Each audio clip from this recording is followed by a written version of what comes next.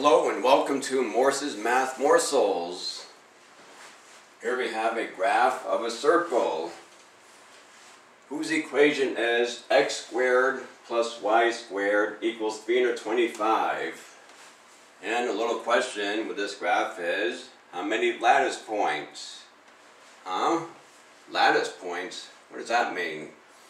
Well, it just means a uh, a point or a set of coordinates, x and y values, where both x and y are integers. For example, 1 comma 2 or negative 3 comma 5.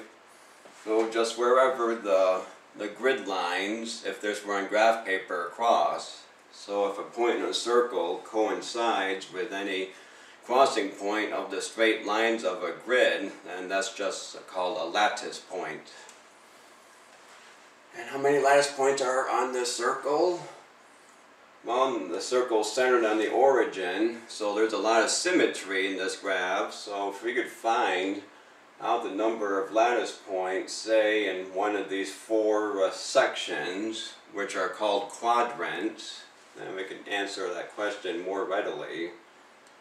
And a lot of this comes down to finding two integers, positive or negative, such that the sum of the squares equals 325 and I chose this number strategically 325 so if you do a little searching of the tables of lower square numbers you'll find that 325 equals 1 squared plus 18 squared.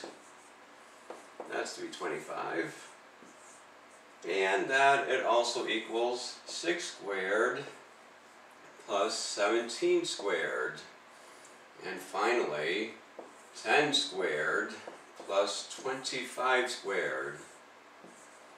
All are 325. Oh, wonderful. So we have three ways that 325 can be expressed as a sum of squares. And any of these numbers could be negative as well as positive. Because negative 18 squared is still 324 when you add the 1 to it, or negative 6 squared plus 17 squared, that's 325, or 10 squared plus a negative 25 squared would be 325. So you can begin to uh, figure out and plot some lattice points. Here we have 1 squared plus 18 squared, so we could pretend that 18 is an x and that 1 is a y, and we could just call this point uh, 18 comma 1.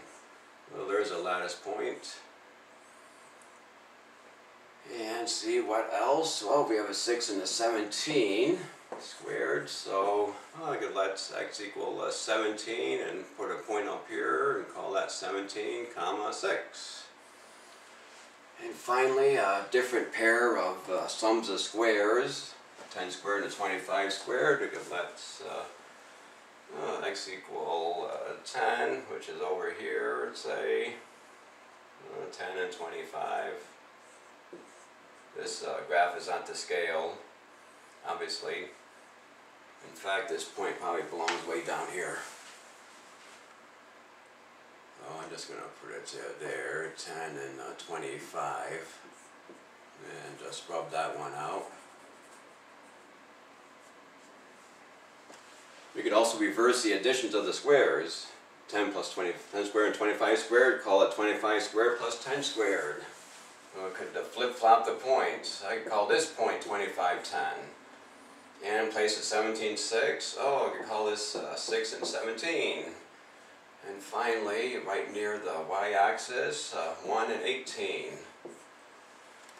All those are all the first quadrant lattice points, and there are uh, one, two, three, four, five, six of them. I'm just going to call this 6 points PTS across the x-axis. So we could reflect this to 18 and negative 1.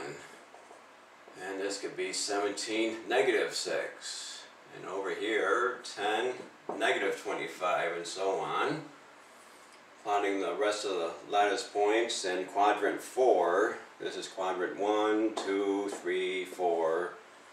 So to have reflections as it were as though these six lattice points were looking at a reflection of themselves through this x-axis and across to this quadrant. one, two, three, four, five, six more lattice points. And then they in turn could be reflected across this y-axis, this vertical line. Oh, guess what? We'll have uh, yet six more lattice points.